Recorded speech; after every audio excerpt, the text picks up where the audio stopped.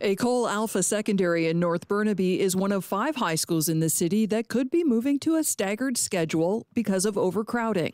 A staggered schedule means students won't all attend at the same time, with the school day starting earlier and ending later in order to add an additional block of classes.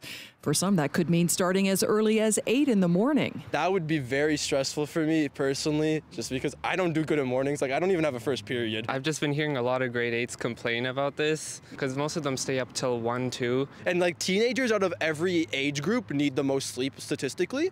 Um, so it's actually better for school to start at like 9 for teenagers than actually earlier. With the explosion of residential high rises at nearby Brentwood, Alpha is bursting at the seams. The school was upgraded in 2019, but not built nearly big enough. It's the same thing down the road at Burnaby North Secondary, home of the Vikings, and possibly the new staggered schedule.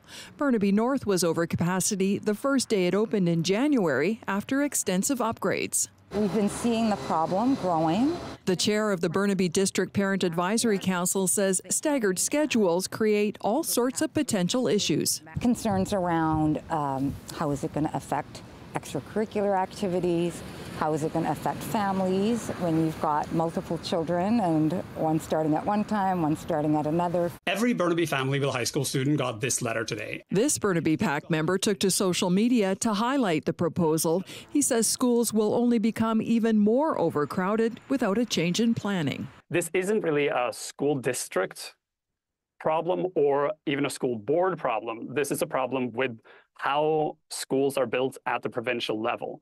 Burnaby School Superintendent Karim Hachlaf was not available for an interview.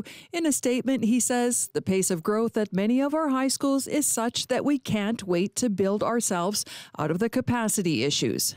Karen Larsen, CBC News, Burnaby.